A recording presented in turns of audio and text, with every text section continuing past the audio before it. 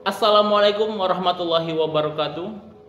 Selamat siang rekan-rekan semua, semoga sehat selalu. Perkenalkan, saya Yaumil Istiqlal Enur SPD IMPD. Saya merupakan salah satu dosen di Universitas Syakwala, Fakultas Keguruan dan Ilmu Pendidikan, Departemen Pendidikan Biologi, Program Studi Pendidikan Biologi.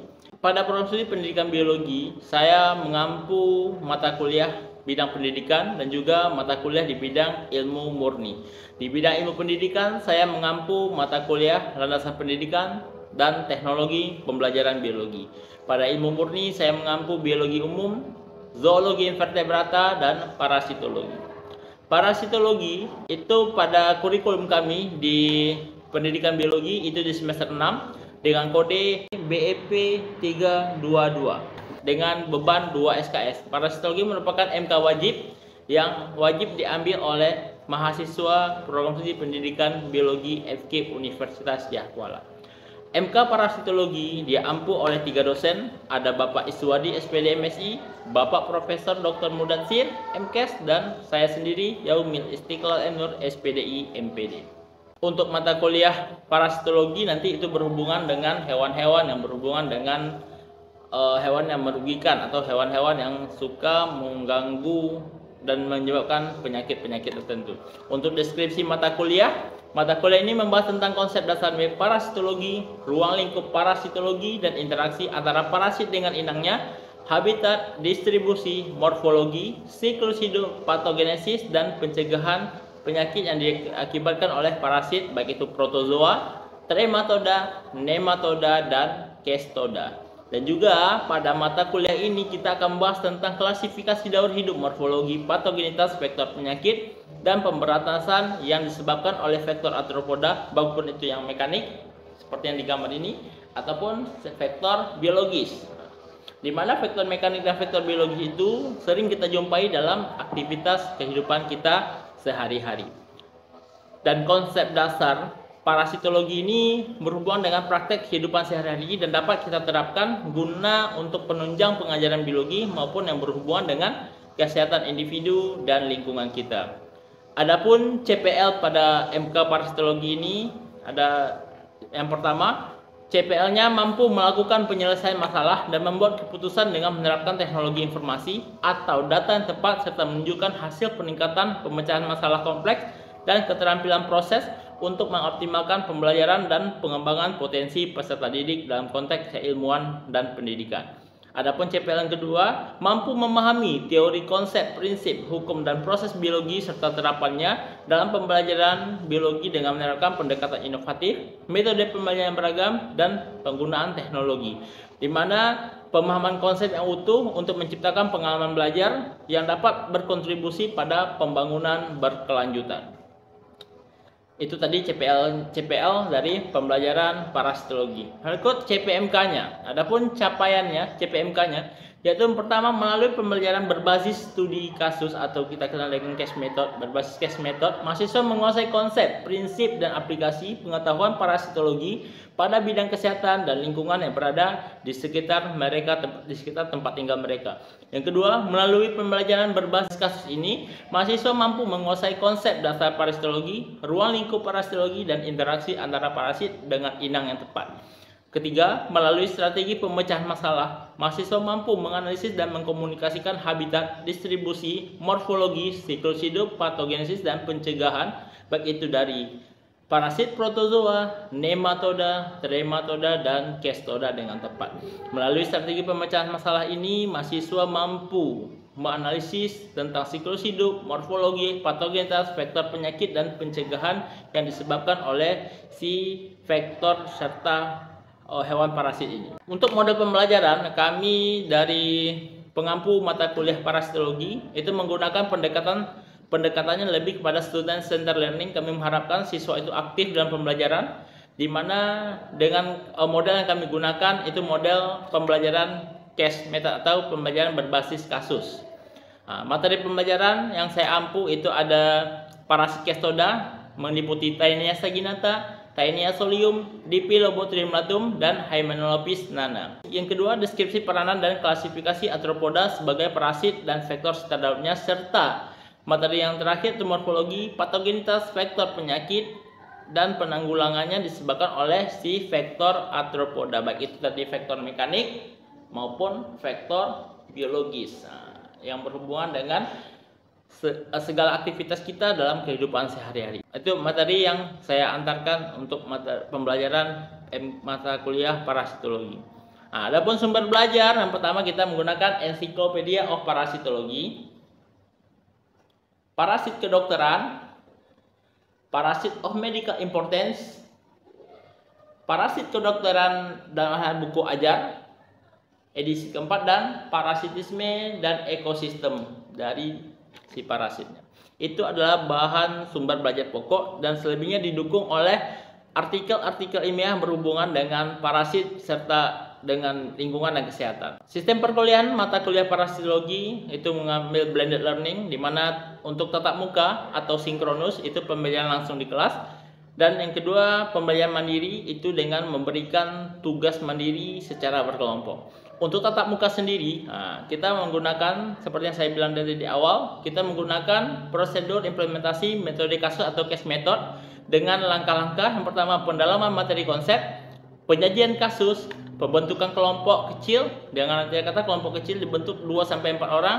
Dengan kelompok ini kami bentuk dengan menggunakan uh, bantuan web itu Well of Names itu pembagiannya diacak secara random dan ada kata mereka punya hak kesempatan yang sama tanpa memilih siapa kawan-kawannya. Berikutnya tahap berikutnya ada pemecahan kasus. Pemecahan kasus dari pencarian data, informasi, teori, bahan, alat, resource dan pengajuan gagasan serta diskusi validasi, perumusan solusi dan penulisan hasil kerja secara berkelompok.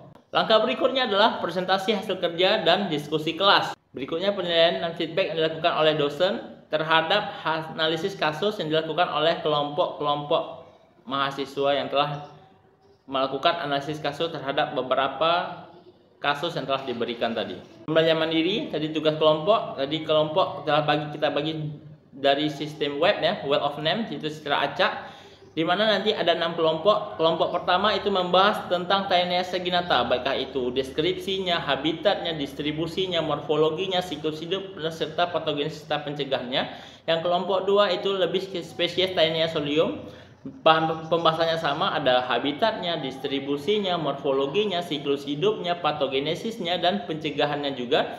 Untuk kelompok tiga spesiesnya berbeda itu di Pilobotrium latum yang dibahas juga hampir sama, ada habitatnya, distribusinya, morfologi, siklus hidup, patogenesis dan pencegahannya. Untuk kelompok empat itu lebih kepada spesies Hymenopsis nana. Nanti yang dibahas adalah habitat, distribusi, morfologi, siklus hidup, patogenesis dan pencegahannya.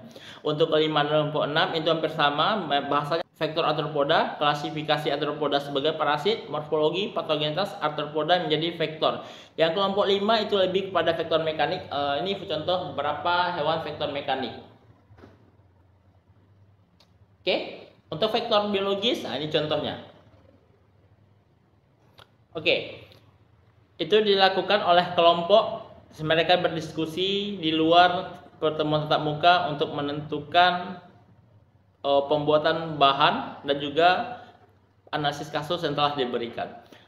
Untuk penilaian, penilaian pada mata kuliah parasitologi, kami mengambil sistem kehadiran, kami menilai kehadiran itu 10%, keaktifan siswa 10%, tugas 30%, UTS 25% dan UAS 25%. Sehingga perhitungan nilai akhir dari ketiga ini adalah seperti ini. Oke, seperti ini ya. Nah, nanti setelah nilai akhir itu didapat, maka akan dikonversikan dengan konversi yang telah ditetapkan oleh pihak universitas sendiri. Di mana rentang A itu bernilai 87 sampai 100, rentang AB itu bentang antara 78 sampai dengan kurang dari 87 atau 86, itu nilai B 69 sampai 77, BC 60 sampai 68, C 51 sampai 59, D 41 sampai 50 dan E 0 sampai 40. Untuk lebih jelasnya, nah, silahkan dilihat uh, pembelajaran yang kami lakukan. Di sini uh, pada pertemuan ini saya menjelaskan tentang bagaimana cara untuk menganalisis sebuah kasus, lebih tepatnya kepada tahapan dalam pemecahan kasus nanti di mana akan dijelaskan bagaimana cara pencarian data informasi, teori, bahan alat resource, pengajuan gagasan, diskusi validasi, perumusan solusi, penulisan hasil kerja. Bagaimana mekanisme di dalam kelasnya silahkan dilihat video berikut ini. Terima kasih. warahmatullahi wabarakatuh.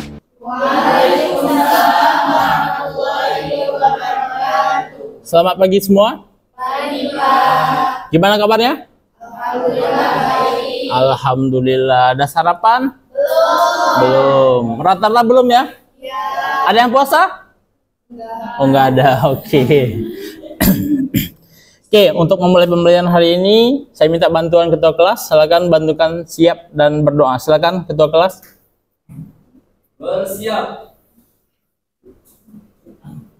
Sebelum kita mulai pelajaran, kita berdoa Bismillahirrahmanirrahim. Rabbi shrahli sadri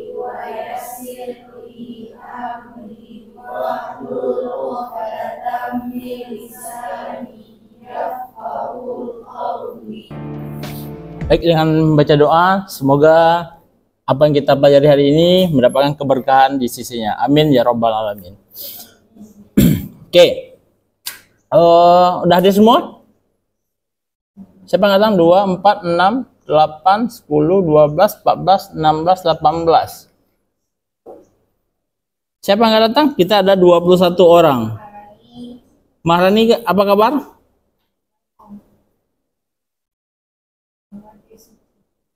Maharani, Teh Suci, dan si Feby ya, tiga orang ya. Hari ini, nah, sesuai dengan materi kita minggu lalu, nah, saya akan sajikan sebuah gambar.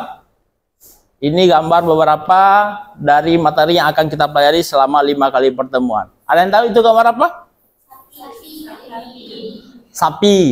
Satu lagi? Babi. Babi. Yang di bawahnya? Cacing.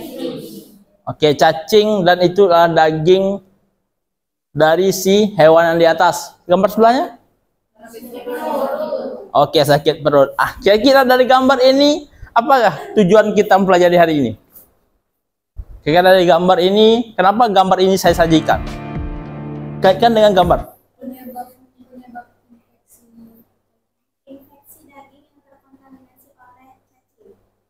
Sedikit lagi sedikit lagi. Ini akan kita pelajari di hari ini ya. Satu lagi kaitkan dengan gambar yang sebelah.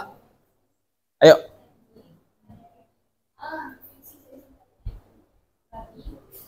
Oke, okay. infeksi cacing. Sedikit lagi karena hari ini kita sebagai minggu lalu adalah untuk mempelajari studi kasus atau masalah. Maka kaitkan dengan gambar sebelah. Ayo ini infeksi gambar sini aja. Infeksi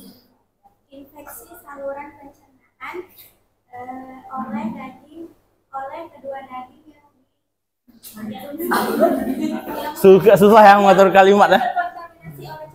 Oke. Oke oke, gini ya. Dalam arti kata, hari ini adalah kita akan membahas masalah yang berhubungan dengan infeksi dari si parasit ini. Maka dikatakan oh, yang sebelah itu adalah penderita, yang sini adalah yang menyebabkan. Maka kata itu Uh, sesuai dengan gambar ini, hari ini tujuan pembelajaran kita adalah untuk menganalisis sebuah kasus dari permasalahan yang diberikan. Nah, ini adalah contoh salah satu contoh masalah. Kenapa kita bilang masalah? Kita sering makan daging sapi. Ada pernah makan, makan daging babi nggak? Mungkin nggak tahu kan, oh, penasaran coba-coba gimana rasa teksturnya. Ada pernah nggak? Nggak ada. Pernah? Nggak. Oke, mungkin nggak tahu ya. Kalau kita pernah beli ke pasar kita nggak tahu itu daging babi, daging sapi, ah, itu bisa jadi kita akan tertipu. Hari ini silakan kita duduk dulu berkelompok. Sesuaikan kita diskusi kelompok. Silakan bentuk kelompok 1, 2, 3, 4, 5, 6. Silakan. Yang belum dapat kasus, kita cari kasus hari ini. Yang sudah dapat, kita akan lanjutkan ke langkah berikutnya. Oke, ini langkah-langkah pembelajaran kita hari ini. Kalian lihat dulu ke depan sebelum kalian diskusi. Langkah-langkahnya adalah pertama kita cari data informasi. Ada yang kata kita cari dulu beritanya. Kita cari dulu kasus yang akan kita analisis. Yang kedua pengajuan gagasan. Itu gagasan mari masing-masing kalian di dalam kelompok. Oh saya punya gagasan ini terhadap kasusnya. Saya punya ini saya punya ini. Habis itu kita diskusi. Diskusi dalam kelompok kecilnya diskusi dulu dan validasi kira-kira gagasan itu bagaimana kita nanti akan menyusunnya menjadi sebuah penyelesaian diskusi dan validasi di dalam kelompok habis itu dirumuskan ditulis ditulis habis itu baru penulisan ini adalah dalam bentuk draft yang udah bagus. Bisa? Bisa. Nah, seperti ini nanti inilah yang penting yang kalian sampaikan. Di bab 2 kalian inilah yang harus kalian masukkan. Deskripsi kasus, apa kasusnya? Setelah itu penyebabnya apa? Misalnya tadi, seorang terinfeksi oleh Taenia solium. Nah, deskripsi kasusnya adalah kehidupan seseorang itu yang biasa cenderung memakan daging babi mentah, misalnya seperti itu. Penyebabnya kenapa? Karena dia tidak memasak si daging babi ini dengan matang. Nah, berikutnya alternatifnya. Alternatifnya kira-kira apa yang ditawarkan? Mungkin alternatifnya adalah dia pengobatan, mungkin alternatifnya dia mengurangi konsumsinya. Nah, itu alternatifnya. Berikutnya hasilnya, hasil dan dampak. Kira-kira dari hasil dan dampak itu apa? Bahwa si penderita itu sudah infeksinya sudah mulai berkurang ada menunjukkan tanda-tanda bebas dari si Taenia solium. Kira-kira dampak ke depannya apa? Dampak ke depannya adalah dia kapok lagi untuk tidak mengkonsumsi daging babi. Nah, seperti itu akhirnya itu gagasan pendek. Nanti kalian silakan kalian cerita cerita versi kalian. Itu gambaran dari saya. Silakan diskusi dulu per kelompok untuk mencari yang belum mendapatkan kasus itu tiga menit bisa ya. Kalau yang udah silakan kalian mulai memikirkan kira-kira gagasan apa yang muncul dari berita tadi. Infeksi dari Taenia solium atau kasus pada cacing pita pada babi. Boleh, boleh, nggak ada masalah. Nanti penjelasan kasus di penyebabnya disebabkan oleh banyak jenis dari si nyamuknya. Boleh, ada masalah. Karena kan kalian vektor biologis kan? Nah, kecuali orang nih orang ini cuma dispesieskan satu. Tenia solium Tenia seginata kalau kalian boleh milih. Kalau dia banyak pun nggak ada masalah. Yang penting dia penyakitnya itu jelas. Jadi sekalian kerja selesai. Ya judul kasusnya apa laba-laba pertapa coklat Boleh? Bisa. Oke. Okay. Ya, deskripsi kasus itu gini. Sebenarnya kan satu satu des satu poin itu kalian punya masing-masing gagasan. Saya punya deskripsi kasusnya begini, saya begini, saya begitu, saya begitu kalian remuk. Pokoknya.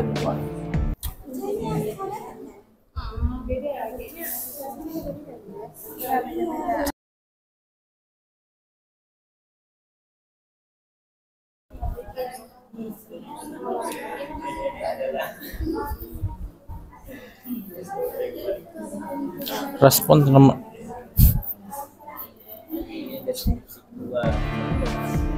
laporan penyajian laporan aja. Nah sebenarnya di kasus itu ketiga poin itu udah ada. Deskripsinya ada penyebabnya ada alternatifnya ada. Yang jarang ada itu adalah hasil dan dampak itu jarang ada. Atau di berita itu deskripsi kasusnya ada. Yang tinggal kalian baca. Deskripsi ada penyebabnya ada. Perkenalan itu ya pak? Deskripsi. Deskripsi itu pengantar ya, pengenalan. Ya. Nah, habis itu penyebabnya apa? Kita disebabkan oleh bla bla bla bla bla bla seorang bla bla bla bla. Itu yang itu yang penyebab.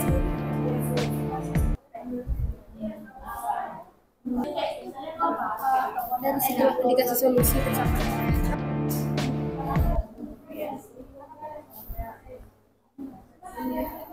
Udah? Kelompok udah? Satu lagi dah? Dah.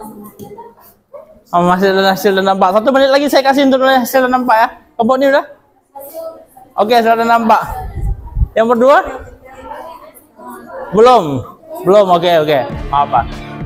Oke, nanti kalau kelompok Anda siap, silakan percayakan satu orang untuk membacakan hasil diskusinya.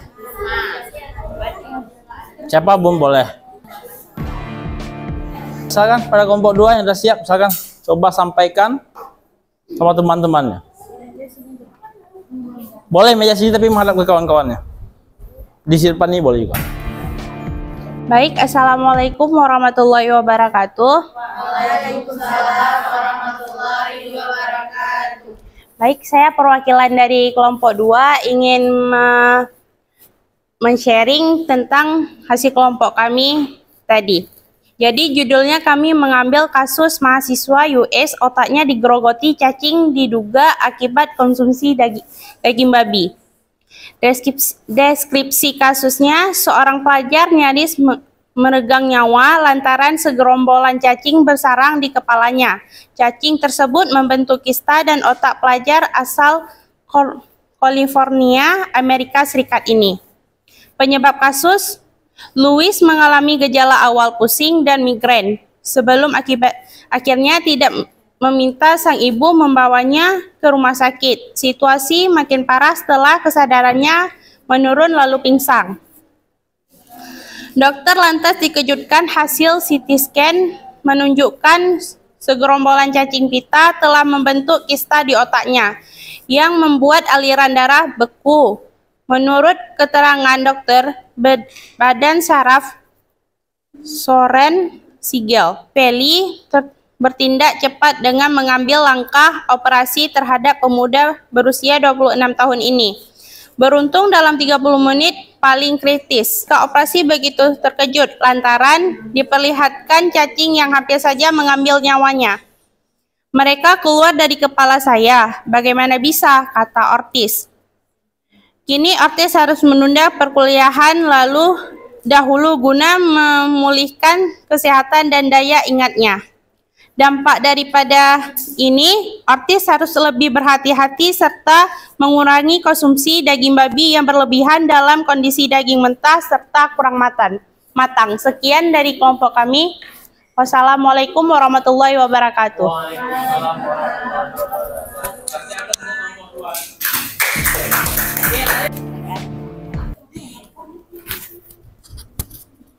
Uh, baik, saya dari kelompok 5 uh, eh, akan uh, menjabarkan mengenai analisis kasus kami yaitu uh, penyakit uh, Lyme Lyme yang, menya yang menyamar sebagai gigitan laba-laba bertapa coklat. Nah, uh, deskripsi deskripsinya adalah penyakit Lyme ini uh, di diakibatkan oleh bakteri Borrelia uh, burgdorferi yang ditularkan oleh laba-laba bertapa coklat pada manusia akibat gigitan dari laba-laba uh, pada manusia.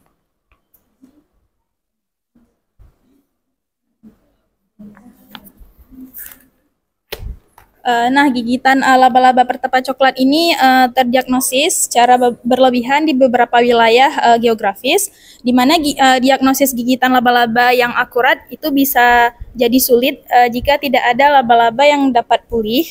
Laba-laba pertapa coklat ini atau Loxosceles reclusa ini terkenal karena kemampuannya uh, menyebabkan luka kulit nekrotik dan sering uh, disalahkan atas luka tersebut. Nah, uh, banyak arthropoda termasuk laba-laba uh, ini namun tidak terbatas pada spesial, spesies lain dalam genus Loxosceles. Uh, dan uh, akibat gigitan ini itu banyak kondisi medis yang uh, menyebabkan luka-luka kulit.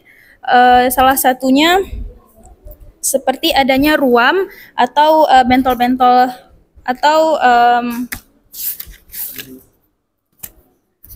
uh, ruam atau belang-belang uh, halus. Nah, penyebab uh, dari dari penyakit ini adalah disebabkan karena adanya infeksi akibat gigitan laba-laba pertapa coklat pada kulit manusia uh, yang menularkan bakteri Borrelia burgdorferi ya, yang membuat manusia itu menderita penyakit Lyme ini yang ditandai dengan adanya ruam, belang-belang halus, mual, muntah dan um, uh, rasa tidak enak badan. Nah, alternatif dari um, kasus ini adalah um, dikarenakan gigitan laba-laba tersebut yang menyebabkan rumah, uh, rumah ruam tersebut, maka harus dilakukannya pemeriksaan berlanjut dan menyeluruh terhadap uh, luka-luka uh, tersebut, di mana luka itu harus dibersihkan, dikompres dengan es, dan juga uh, dilakukannya adanya terapi uh, lainnya yang harus uh, dikonsultasi dan uh, yang yang harus dilakukan oleh dokter.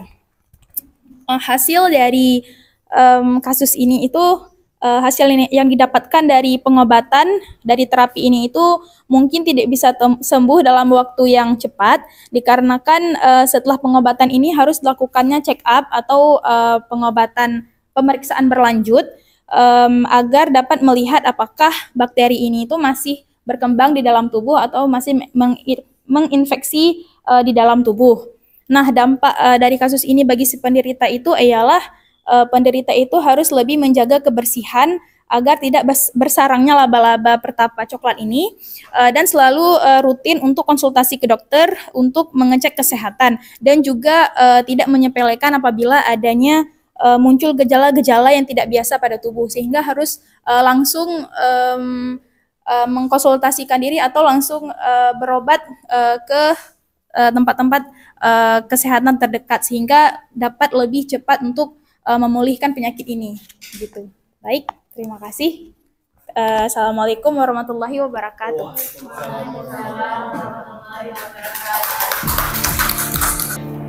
Oke, silakan.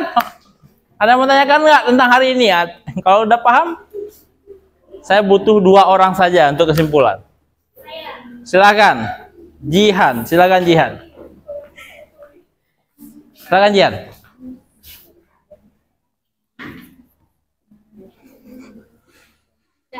Jadi kesimpulan uh, kita pada hari ini dalam menganalisis kasus yang pertama uh, kita harus lihat dari contoh-contoh dari uh, kehidupan.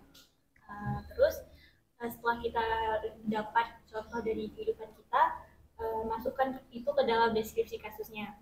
Terus kita analisis penyebab-penyebab uh, kasus tersebut dan setelahnya uh, kita dapat uh, mengambil hasil atau dampak dari alternatif uh, solusi uh, tentang uh, tentang kasus tersebut.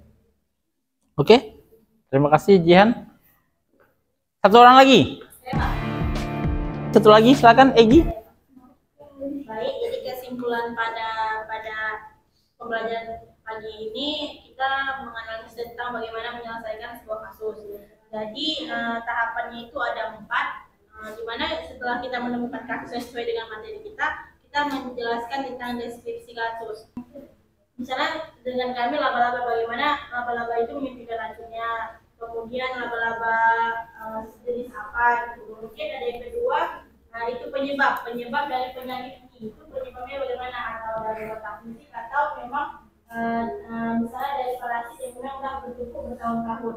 Kemudian itu yang ketiga ada alternatif solusi, alternatif solusi ini di mana uh, solusi yang diberikan baik itu dokter dari dokter untuk menangani kasus uh, dari penyebab kasus tersebut. Kemudian yang keempat itu hasil dan dampak. Hasil dan dampak uh, pada kasus ini hasilnya itu bagaimana hasilnya dari pengobatan dokter itu apa yang di, uh, yang dihasilkan misalnya uh, lukanya akan sembuh atau dan sebagainya.